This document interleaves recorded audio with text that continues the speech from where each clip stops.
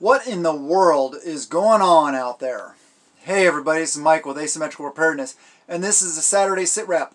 This is reports from you guys, my subscribers, people that are watching the channel, sending me emails at asymmetricalpreparedness at gmail.com and letting me know what's going on, what you guys are seeing around the nation.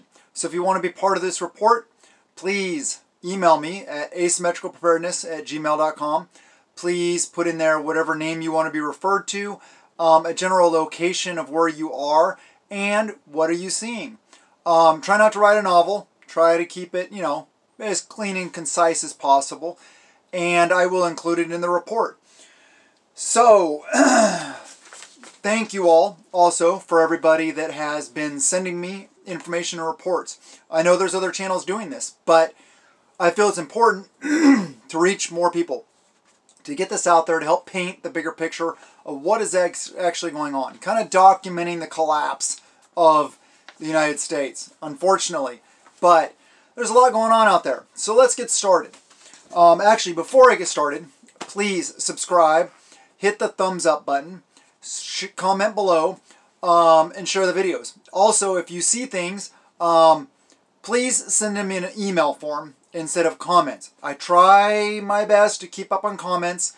Um, actually, I, I, can't say I'm my best, but I try to keep up on comments, but it's much more difficult and stuff like that. So if you have any intel, any report, um, please email me. Um, yes, so let's get on with it.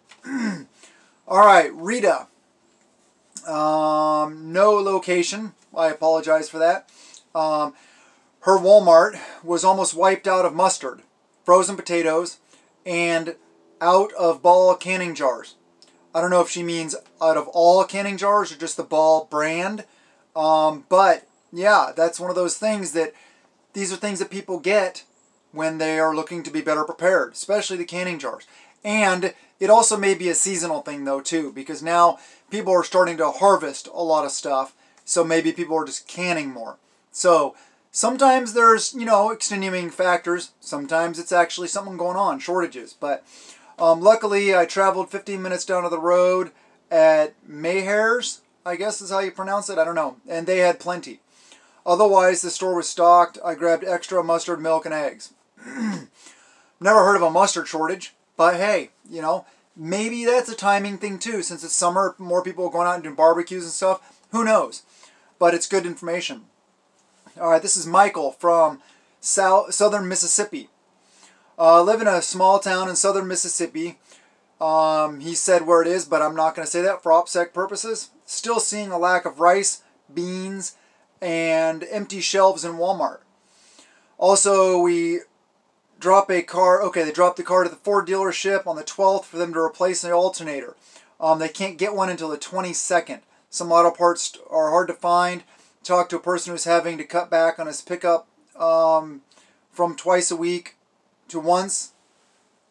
From twice a week to once a week. Can't help. Can't find any help. No one who wants to work, so he's trying to do it by himself. Okay, sorry. I hope that made sense. Um, so yeah, I mean, we've heard about auto parts and um, shortages and stuff like that. Um, alternators, there's no chips in them, so it's not necessarily the chip shortage thing. I think it's just generally speaking, things that come from manufacturing processes maybe of short supply and getting shorter supply. All right, this is another Michael. Good name, right? Um, Florida. I'm from the Miami, Florida area I noticed canned goods from Publix have gone way up in price. Yeah, I've seen the same thing.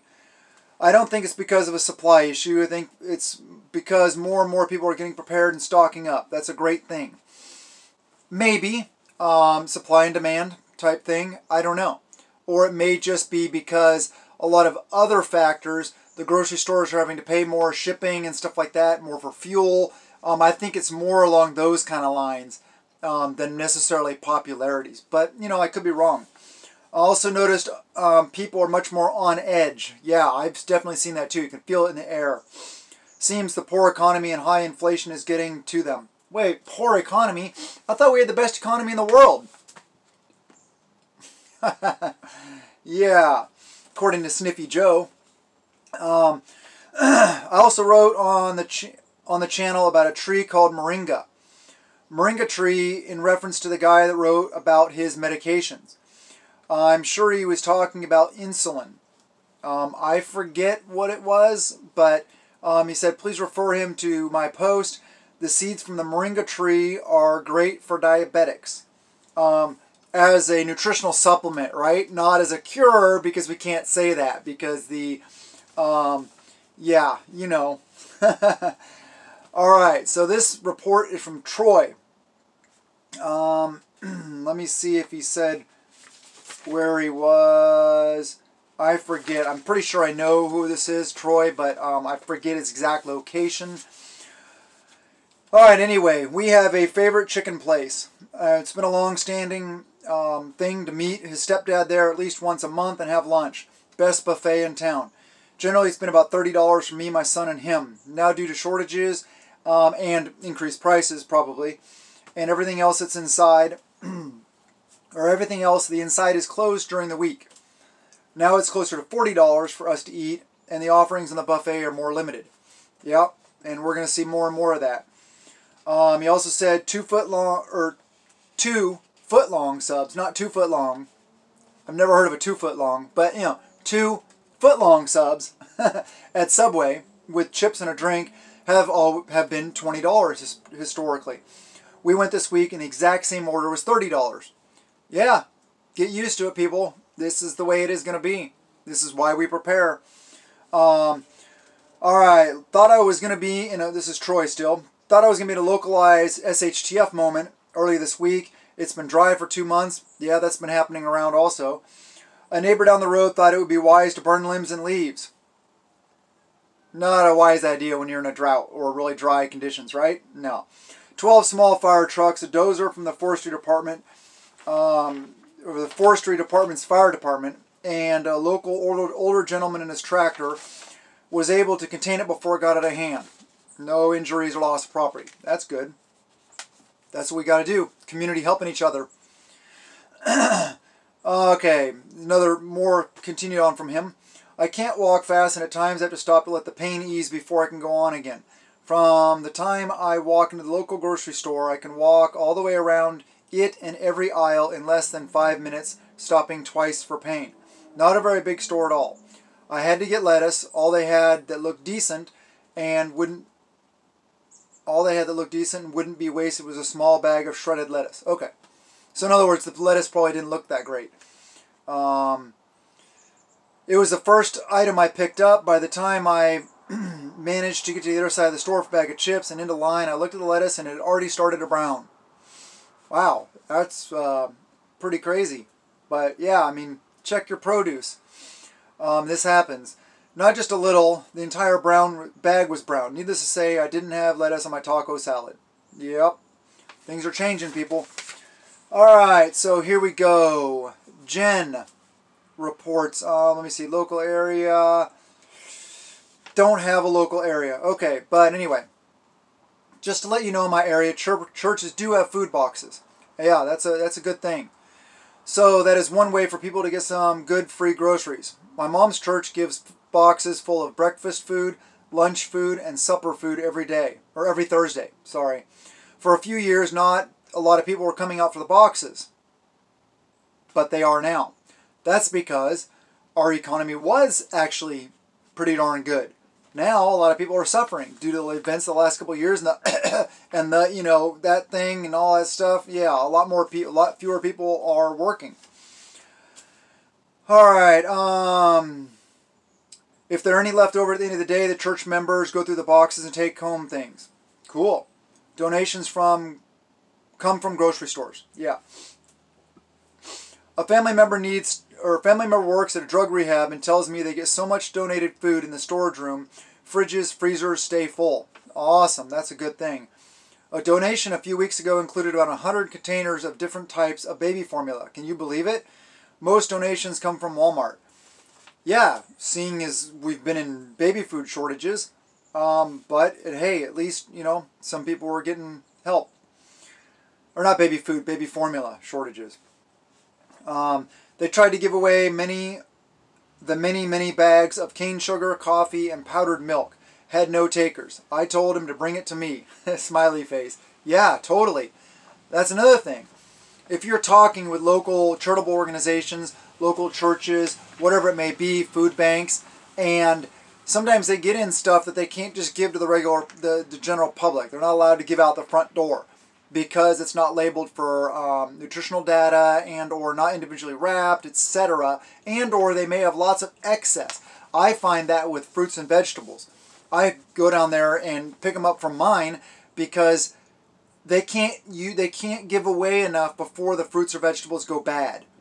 So I say, hey, if you got any extras you need to get rid of, I'll take them. We'll make jams, jellies, we'll can them, we'll dehydrate them, um, have a buddy with a freeze dryer. We may freeze dry some, stuff like that. And or if anything's left over, we could also compost it. It's great for compost, right? All right. Um, food banks are asking for donations and not reaching their goals. They set up in front of Walmart and grocery stores. Um, anyway, just want to let you know in my area there are ways to get food if you know about it. Um, hunt it, hunt for it through churches. Yeah, and that's a great way. Faith, faith, faith based organizations, community organizations instead of the government. Great way to help take care of each other. All right, this is Troy. Um, again, I think. Same Troy? I forget. See, my son helps me with these emails. He goes through and scans them. He uh, um, puts them in a Word document for me and prints them for me. So uh, I get what he helps me with. And it's a big help. Shout out to my son. He's, he's awesome. He's a big help. So this is Troy. All right, yesterday I had to go to town. It's 12 miles away. There were three. Oh, he also talked about the fact of he may be a little more aware of certain things going on than most people are, or hyper vigilant type thing. But uh, so anyway, there were three 18 wheelers on the side of the road with hoods up, and two hot shot one ton dualies with the hoods up, scattered on the side of the road. I've been seeing more trucks that are down due to mechanical failures, like hoods up. Um, it's normal to see a rig down with a blown tire or pushed limits and had to pull over to take the mandatory breaks before they could um, make it to the truck stop. But mechanical failures have not been anywhere near as bad in the past from what he's seen. I don't know if there are shortages of rig parts, which there probably are, um, and they're trying to lengthen the um, the um, service cycles and the repair and maintenance cycles, trying to push the limits. Um, if they're pushing them harder, trying to keep goods moving, or if something sinister is happening. He says, the conspiracy theorist in me says it's sinister, but I'm praying it's just the drivers pushing the limits and not actually going down and doing the maintenance. That may be also, maybe a time factor. Maybe so they've been so busy that they haven't been able to keep up on maintenance as much. But um, yeah, okay, so things I've seen in my area. I have seen just pretty much shortages kind of here and there throughout stores. Um, I can't think of anything specifically, but because um, it, it changes. And it may be, you know, shipping, it may be what they're getting. I'm not really sure. But um, I just encourage you guys to keep on prepping. And um, yeah, if you have any more information like this, please email me at asymmetricalpreparedness at gmail.com. Put in there whatever name you want to be referred to as um, in a general location, please. And then what's going on. So that we all can take this information in look at it and kind of helps give us a bigger picture of what is actually going on out there. So I really appreciate everybody that sent me uh, information. The more the merrier. Please send me information. I love you guys. Have a wonderful day and blessings to you and yours.